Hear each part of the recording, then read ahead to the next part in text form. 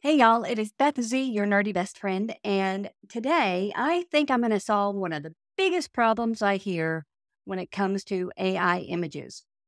It's that all you want to do is have the words written on the screen that you say, and it totally mangles the text. I've had so many people write to me and they say, yeah, it's horrible. And it doesn't have to be. Let me show you a couple of images and how we can fix them. All right, so let me start with a simple prompt, which was create an image of a cute robot holding up a sign that says your nerdy best friend. It's cute, but it says your nerd best friend. And I said, do some more. And it says your nerd best friend. And then it got it right, but it put some random words over here. And then it nerd and then your nerdy, nerdy best friend. I kind of like that one. And then your nerd best friend. Okay. So let's say I like this first one because it's adorable and I just want to get it fixed. Here is the secret Canva. Now you're going to have to be paying for the paid version of Canva because this is in the advanced tools.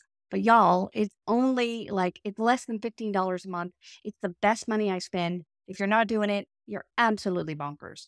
So let me just drag this one in here and show you how it's done.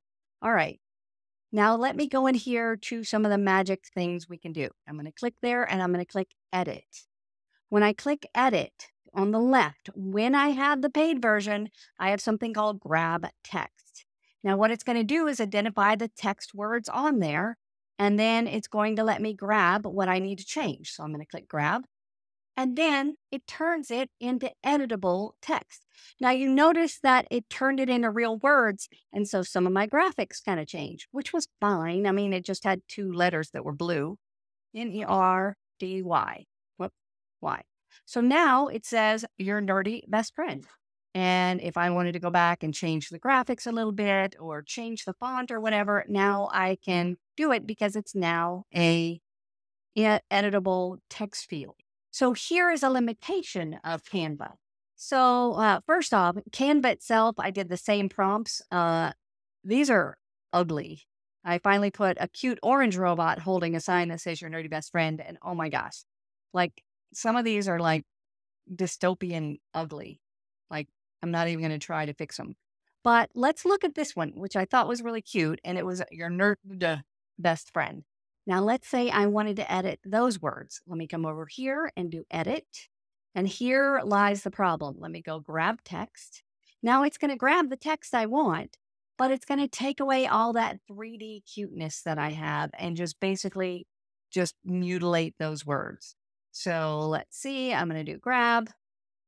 And it's basically not going to give me that look anymore, right? So now we have this, which was not anything like what I had before and put an I in there, uh, it's not good anymore, right? It just changed it. So you need the lettering to be kind of flat and basic for Canva to be able to do this. So that is an easy way to fix it. And I'm going to give you in this blog post a couple of other tips on how to make this problem go away. That's it. That's Beth Z, your nerdy best friend, with a tip for this Friday and saying, Nerd on. Have a good weekend.